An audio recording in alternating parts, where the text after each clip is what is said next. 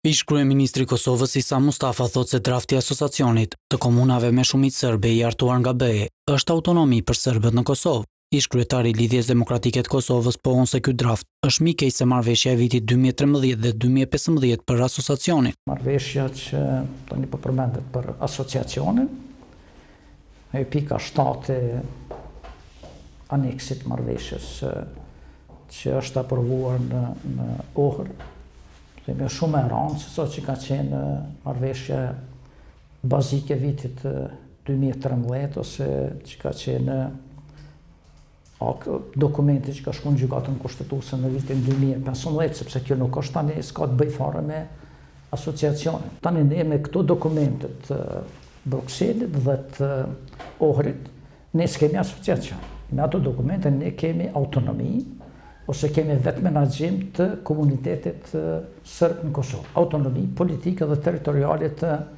sërbëve. Do të thotë nuk ka tani ne mund t'i gënjejmë qytetarët Të themi se po bëhet asociacion ose edhe edhe ndërkombëtarët. Sepse edhe ndërkombëtarët të cilët po flasin për asociacionin, edhe po thonë që ne besojmë që është në harmoni me me kushtetutën, po ata s'po e thonë të vërtetën sepse s'është ashtu. Nuk është në harmoni me kushtetutën, sepse kërkund në kushtetutën e Republikës së Kosovës nuk thuhet se një pakicë ose një komunitet etnik në Kosovë mund të vetëmenaxhojë.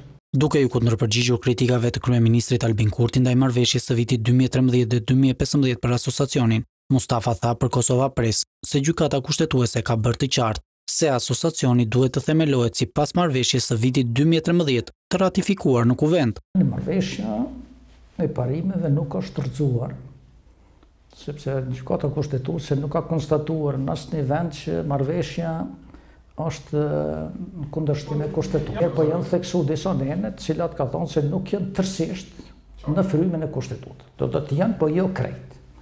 Edhe pastaj, Gjykata Kushtetuese ka thonë qartë që asociacioni duhet të themelohet sipas marrëveshjes së parë.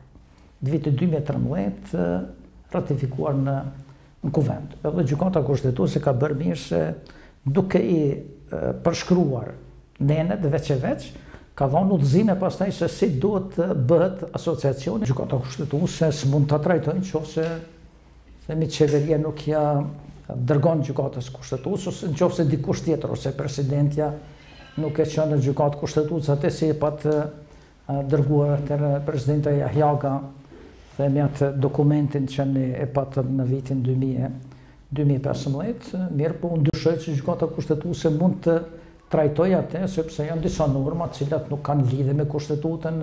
Dialogu për Mustafën më së shumti i ka shërbyer për populizëm kryeministrit Albin Kurti dhe presidentit serb Aleksandër Vuçiç.